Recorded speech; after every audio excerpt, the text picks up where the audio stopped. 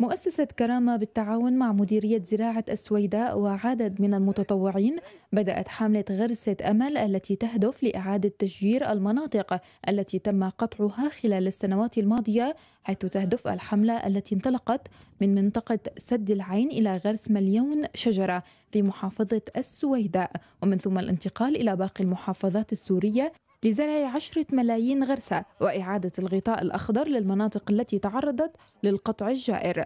خطتنا هذا العام زراعة حوالي 200 هكتار من الأشجار الحراجية 50 هكتار بمنطقة سد العين الموجودين هنا فيها حاليا و150 بمنطقة أم الرمان. وكان مفترض بدء الحملة تكون من أم الرمان طبعا لكن ظروف جوية وبعد موقع التحريج عن المواصلات ففي صعوبة أجلناها لبعد الانتهاء من سد العين.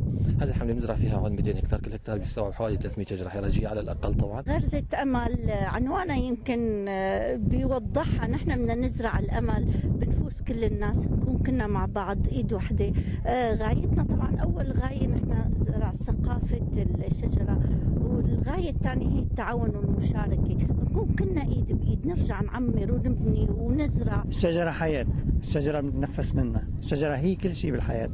يعني هي بتجلب الأمطار بتجلب الرياح بتعطي خضرة بتعطي بالصيف رطوبة بتعطي كل شيء حلو. عم نزرع لحتى نجدد الأمل بالبلد. ومثل ما في إيد عم تقطع بهاي البلد نحن عم نرجع نعمرها من أول وجديد. نحن هلأ عم نقدم هذا الشيء. ولما يستفيدوا منه أولادنا بالمستقبل يعني ممكن ما نشوف هالشجر على المدى القريب بس نحن رح نشوف أولادنا بكرة عم يطلعوا سيارين عم يشوفوا غطاء أخضر. آه سويدا كانت معروفة بأحراجها ومناطقها الخضراء الكبيرة بس آه لسبب ما ضعاف النفوس آه روحوا هي هي البنية اللي كانت مشهورة فيها السويداء. الشعب السوري شعب بناء، شعب معطاء، بحب يبني الحياة، بحب يجدد، آه كل شيء أهم شيء بالحياة هو التجديد والتغيير، آه ونحن كلنا جينا إيد وحده لنرجع نجدد الامل. صرنا زارعين أكثر من 25 ألف غرسه بمنطقه عبد مار والعين. ورحنا صوب كفر اللحف. طبعا كان في معنا أصدقاء السنديان. بعدنا متابعين مع الأستاذ مفيد كرامي اللي قام بحملة المليون شجرة. وإن شاء الله في عنده خطة لتكون 10 مليون شجرة بكل أنحاء هذا الوطن لأنه لازم يعرف الكل إنه هذا الوطن للكل.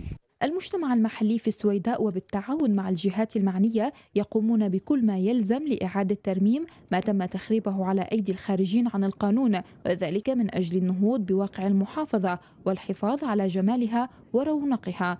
خاصة أن محافظة السويداء فقدت خلال الأعوام الماضية ما يقارب ال 600 هكتار من غاباتها التي كانت تتميز بها.